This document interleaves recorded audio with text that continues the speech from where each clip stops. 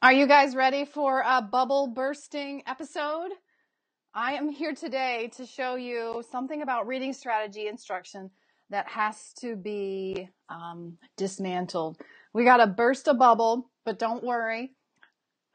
Before we leave, I will help you put the, ba- the pieces back together and you'll understand how you can save time and get students to accelerate their reading achievement by carving away some things that are kind of uh, burdening you and you can move towards the things that are going to make the big difference for your students. Thanks for tuning in. Hey, Sherry. Hi, Carleen. I'm Marnie Ginsberg of Reading Simplified and it's my mission at Reading Simplified to help classroom teachers or anyone teaching reading streamline their reading instruction and also see if students reading achievement accelerate. So that's what we're going to be doing tonight. We're going to be bu- bursting a balloon about reading strategy instruction so that you can save time and streamline your reading instruction. You won't have to ask yourself as many questions and you won't have to feel the guilt about all the different things that you're not teaching. All right? All right? Are you ready? Okay, enough. Say goodbye to our balloon. all right. So, I am so glad you're here. If you are here, let me know where you're from, what you teach. And I'd also love to know what you are experiencing with reading strategy instructions in terms of reading strategy instruction, rather. Are you experiencing that it's a big push to get it done? Are you experiencing a lot of um, demands in your scope and sequence or your reading curricula? Let me know where you're from, what you teach, and um, also, can you share something about your experience with reading strategy instruction? Okay, so let's see what the bubble is that we are going to burst. Are you ready? Teaching reading strategies shouldn't take, be taking up so much of our time.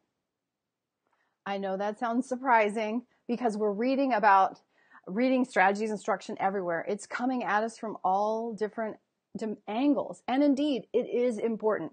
I'm not here to say that teaching reading strategy instruction um, isn't important. However, I want to give you a more nuanced understanding of it. So, reading strategies, teaching students how to comprehend better by giving them tools like how to monitor their comprehension or how to learn to summarize or how to make connections. These things have been shown to make a difference for student reading achievement. They're proven by reading research, actually quite a lot of it in the last 30 to mostly 30 years. In fact, my um, doctoral advisor did some significant research on the importance of teaching kids story grammars. So I know very well that these are important things for us to share with our students.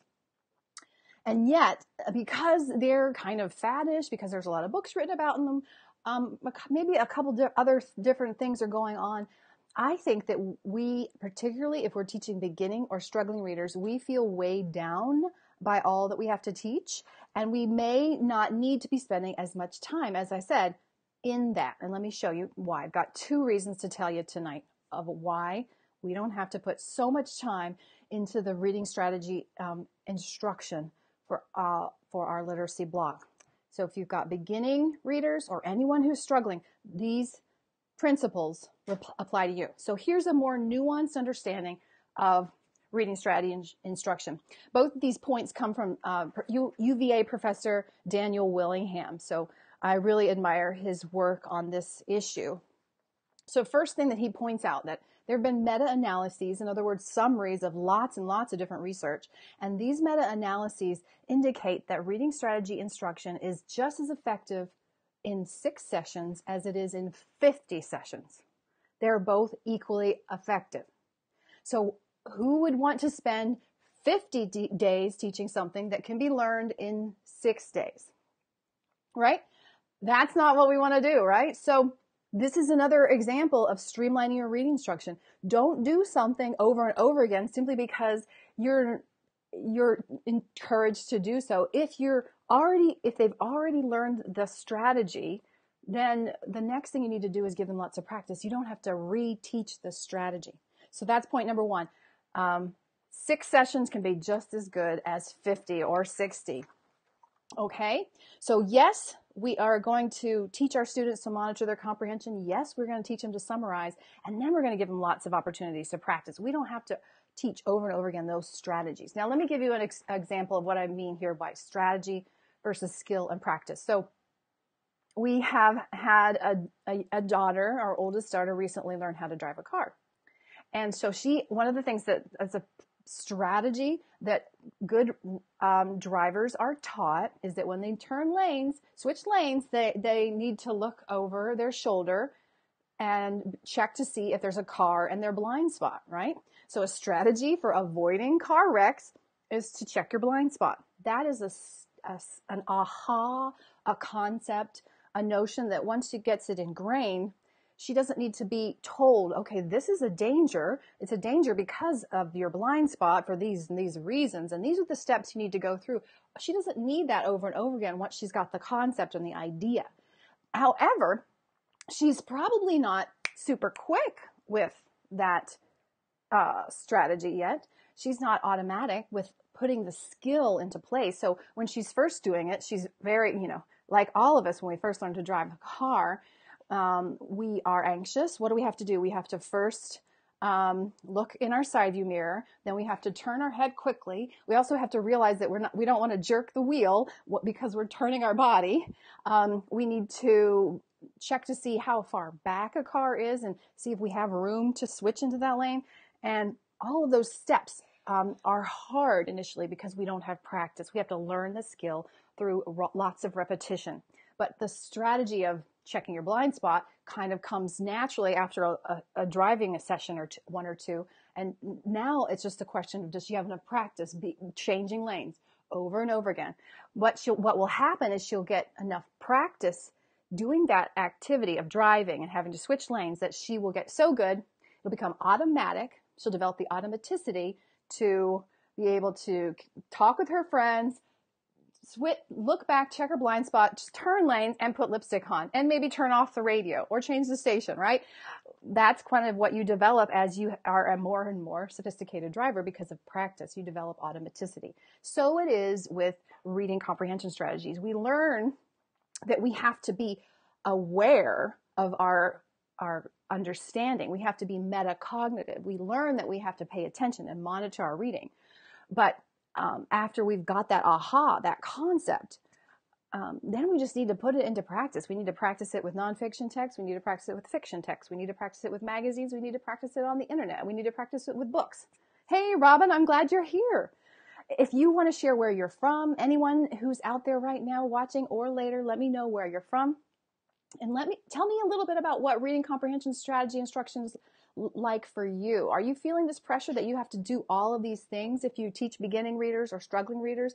That's particularly interesting because we're talking about a nuance to the importance of it. So again, I'm saying yes, it's important. Yes, we teach it, but we don't need to teach it for very long because the research indicates that six sessions is just as good as 60.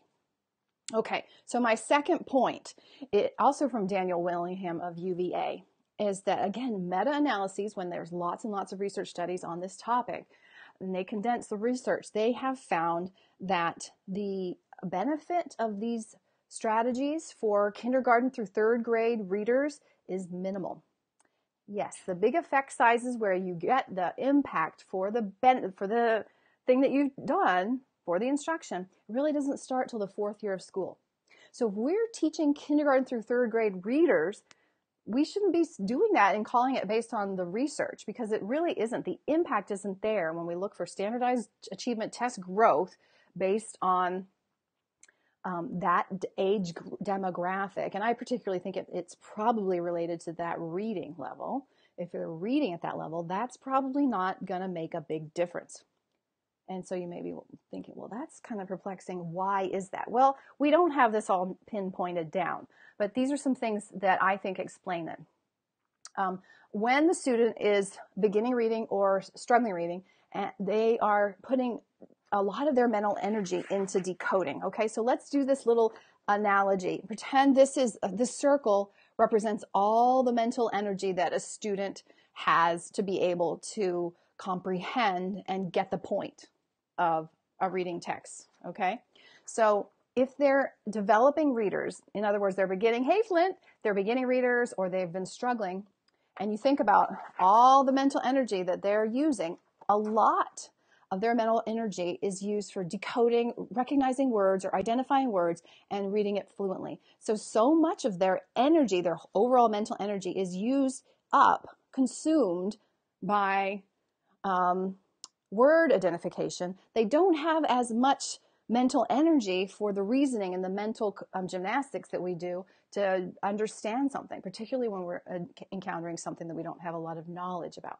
So, this is particularly relevant, this model, this demographic for those beginning readers or anyone who's struggling. This is still their main block. So they just don't have as much energy here. Mental space, if you will. Think of it like, you know, RAM and processing speed for your computer. When your your processing speed is at the top of its uh, limits and the and you get a new program and your pro, and your computer can't handle it, it's like this. You, because you have so much being taken up it just there's not enough energy left over to do the thinking that's needed for comprehension. So in contrast if a student is progressing and, and they're reading, reading chapter books or they're above third, third grade reading level the amount of mental energy hypothetically speaking was would be like this. So they have look at all the mental energy they have left over for reasoning for summarizing for monitoring their comprehension.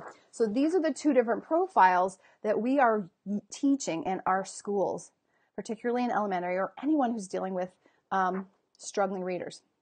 Okay, so if we um, have students with this profile where word identification is really the, sucking up all the mental energy, and we put a lot of time, in other words, more than six sessions in general, into teaching comprehension strategies, we are missing out on really what's the main block for them. This is the main thing. And until we get this circle, this word ID circle, to look more like this circle, our time is not really best spent in teaching them to monitor their comprehension over and over again and teaching them to summarize over and over again. We will want them to practice those things. And I'm really big about that practice. Uh, but when we're spending our time, particularly in small groups, our precious little time that we have in small groups, don't spend five to 10 minutes every day dialoguing about the meaning of the text and asking them deeper things. Those are very valuable for read alouds when you can do the whole class, interactive read alouds. It's valuable after they've listened aloud to sophisticated text that's way up here. But this text, when they're working at this level, these texts actually aren't that demanding, right? If um, you were to read Magic Treehouse to a second grader aloud, how many of them would actually have problems comprehending it. Very few typically developing second grade readers can't get the point, can't make some inferences of a second grade text. The reason that they can't do it, however, when they're asked to read it themselves is because they just don't have as much mental energy because this is taking up so much um, mental um, steam. Okay, so th- those are the two reasons that I think that we should put reading comprehension strategies in their place so that we don't feel burdened as teachers like we have kids who are behind in their word ID. We have kids that are not decoding well. We have kids that aren't fluent. And then we feel guilty. Well, oh my goodness, I need to be talking with them about their inferencing. Well, when they're not inferring, by and large, they're probably not inferring because they can't read all the words or they just don't have the background knowledge. The act of inferring, the inferencing, is actually probably not something that they're struggling with. If you give them text that is in a subject area that they know something about and you read it to them, do they have trouble inferring it? That's an interesting question. Test it out if you don't believe me there. It's typical that a kid's inferencing ability is probably just fine, but it's hard for them when they're reading something that's either the words are too hard or the content is something they have little exposure to. So the strategy itself of inferring isn't really what's holding them back. It's either their word identification or lack of vocabulary or background knowledge. So when we're working in small groups, I really encourage us who are teaching beginning readers or anyone who's struggling to first deal with a big elephant in the room. Those kids need to learn how to decode, then those words will become automatic words. They'll have word identification. Then they'll be even faster. They'll be automatic. They'll be fluent. That's the pattern, the, the order of things that we need to focus on for those kiddos when we're in small groups when we have a whole group, we're going to read aloud something that's very challenging to them, and we're going to dialogue with them, do think alouds, and build their vocabulary and their content knowledge. And some of the time, we may teach them some comprehension strategies. But mostly, we need to develop their vocabulary and their background knowledge because that's what's going to um, make comprehension so much simpler. Okay, so let's just sum up. I um, did this rather claim that reading stra- reading comprehension strategies don't really merit as much time as we've been giving them um, for particular contexts. So we need to understand a nuanced view of these comprehension strategies. So what do I recommend? Uh, that this bubble that I'm bursting is that don't spend all of your time feeling bad about reading comprehension strategies. Don't feel like you you haven't done enough. Um, put it in its place. We know that it only benefits you in about uh, students in about six sessions, so it doesn't take uh, us to do it ad nauseum to get the impact. So who would want to do something 60 days in a row that they could accomplish in six? N- none of us are doing that. But what I think can confuse us as teachers is we see kids not doing something that we think is a reading comprehension strategy. Oh, she's not inferring right there. Or, oh, he's not making connections right there. Now, I want you to discriminate between she wasn't able to do a strategy and she doesn't know how to do that strategy eh, versus she doesn't have the background knowledge to make that strategy easy to accomplish. There's a big difference there. So, whenever you see something, a, a strategy not being implemented, don't assume that they don't know how to do the strategy. Can they do the strategy when the text is easy, when they're when the text is read aloud to them? Then the strategy isn't really the problem. The problem is either they don't know the words or they're too disfluent and it's taking up way too much mental energy so they don't have time uh, and space to think deeply or they just don't know the information. Now, there is a really interesting series of research studies that backs this up. Hi, Laura. If you guys are just popping in, let me know where you're from. I'm bursting some bubbles about reading comprehension strategies. And um, I want to tell you one more little thing. And but if you have uh, one little tip and to kind of bolster your your your thoughts about this in case you doubt what I'm saying, because I know I'm going against the grain here. This is very um, non I am bursting some bubbles. So let me give you a little bit more research. But if you're just coming in, let me know what you have experienced about reading comprehension strategy instruction. Are you pressed to do it? Um, is it in a, every day of your curricula? Let me know. I'd love to hear from you either now um, live or later on. I'll be following up on this this uh, video. So one other little interesting data point. Back to that question of when a student doesn't infer, is it the strategy that they're poor at or is it the lack of knowledge? So there's a whole bunch of research studies um, that have shown when students and even adults, when they're given something to read that they know a lot about, um, then they comprehend it well. And they've even done some interesting studies when they look at poor readers and, and good readers and they both give them something like a, something uh, like about baseball. Well, guess what? If you are a poor reader who knows a lot about baseball, you can do just as well as a good reader who knows nothing about baseball. So it's the background knowledge that, that helps fill in all the gaps for that poor reader and they can succeed way above expectation because they have the background knowledge. So they might read something about second base and uh, and sh- shuttling home, and they make some inferences because they know so much about baseball. Whereas if I hear a couple of sentences where the lines aren't connected for me because I'm not a baseball fan, I may not be able to make those connections. That doesn't mean that I don't have the uh, inferencing ability. It just means I lack um, background knowledge. So that's why when I'm talking about the read aloud. Um, or the listening along and you discuss it afterwards, it's really important to build their background knowledge, to um, discuss vocabulary, to exaggerate vocabulary, to write it on the board, to have them use it, to use it in sentences, to make connections from today's text with yesterday's text, tying in vocabulary and concepts over time and across the year so that they build up larger and larger volumes of information about the world so that they can comprehend. Because really, um, reading research has shown that being a good comprehender is mostly about knowing a lot about the world. It's easier to read a little bit of everything if you know a little bit about everything. So I got off to a point, the little bit of the point, um, but the main point to take take away is that uh, reading, teaching of reading comprehension strategies shouldn't take up so much of our time. We can teach it in just a few sessions and then give students lots of opportunities to practice it. And also, it has a lot less of an impact when our kids aren't reading at a fluent level, fourth grade and up. So, uh, let me know what do you think about these bursting ideas. I'd love to hear your opinion. If you disagree, that's great. Share with me and we can um, dive deeper into this topic. If you agree, that's great too. Let me hear from you. Um, again, we will be back here at Reading Simplified. We will be back um. Usually I try to aim for um, 7 p.m. Eastern, so I picked a different time this week, but usually Tuesdays, 7 p.m. Eastern, we'll be going live with ways that you can help um, your students uh, accelerate their reading achievement, but at the same time, ways in which you can relax about the reading instruction because you know what your what the, the your priorities are.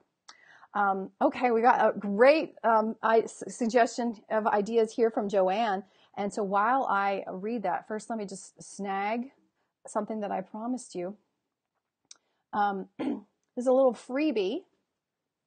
If you want to teach any um, comprehension strategy, the first one to teach is summarization. So you can get this bookmark about to cue you on how to teach summarization and how to give your kids a lot of practice. You can get this here at this website that I'm about to drop in the links. And then I look forward to reading what Joanne had to say to us. Um, so let me just drop this. Here is the link where you can download this little bookmark on how to um, coach your students with comprehension, with particularly with summarization, because that's really the most important um, comprehension strategy. So Joanne suggests this. I, she's teaching students how to decode, but also to think about what they're reading. Yes, in use of context, so they have to understand what they're reading. Lots and lots of reading practice, absolutely, because that's going to shrink this circle and move them to uh, be like this. But she struggles with how much of my time to spend with them on teaching the decoding skill, for such as all the ways to read the O sound, or just have them learn these decoding skills through lots of practice reading text. I know you have research to prove that unless we teach those word identification skills, readers will get to a point and struggle to move on with their reading level. So I depend on the classroom teachers and parents to provide the reading practice. Oh, okay, so interesting. Well, it's a short period of time. If you're using Reading Simplified strategies, um, we move kids pretty rapidly up this continuum. It typically takes 12 weeks for first grade and up. If they're struggling fifth graders or um, if they are struggling first graders, it's about 12 weeks of decoding practice. Maybe it'll be 24 weeks, but it's a fairly concentrated time because the activities are pretty efficient. So because of that efficiency, um, during the small group time when you're really zeroing in on making this circle turn into this circle, uh, I'm suggesting that most of your emphasis is not at that time in small groups about building background knowledge. But if you have the classroom teach, uh, it sounds like you are, when you're saying learning assistance, you mean you don't have access to the kids all day. Yes, the teacher, um, the elementary teacher, across the course of the day, I really hope that she's doing a lot of reading aloud and talking with kids and helping them make connections so they build the background knowledge, they build vocabulary knowledge. So in the small group setting, when you're really, your goal is first and foremost to shrink this circle and get them fluent ASAP, then no, background knowledge is definitely secondary. Um, however, when words come up, for instance, if you're doing switch it and you say, okay, let's move, um, let's switch from uh, glint, like I saw a glint in his eye, to flint. Well, that's a perfect time to briefly define the words or use it in a sentence. But we're not going to belabor it and spend two minutes on it. We're just going to define it and use it in a sentence and move on in general. So I hope that kind of gives you a sense of the uh, the proportions of things. All right. So it seems like Joanne, if you have some, do you have a follow up with that? Because I don't know. Did I did I hit your question? Maybe we could talk about it now. If not, we can carry this conversation off into um, the comments later. Again, make sure that you go to the link that I just dropped so you can snag your bookmark because comprehension strategies are important, but we don't have to teach them how to do it over and over again. We just need to teach them that they need to do it and then they need to practice it with wide reading. So that bookmark that you find in that link will teach you about, I will guide you on how to coach kids to be good comprehenders, which is the most important comprehension skill that we need to get at the beginning. All right, so thanks for being here. I am Marnie Ginsberg at Reading Simplified. If you want to know more about us, um, go to readingsimplified.com and we'll be back next Tuesday at 7 p.m. Eastern. Take care.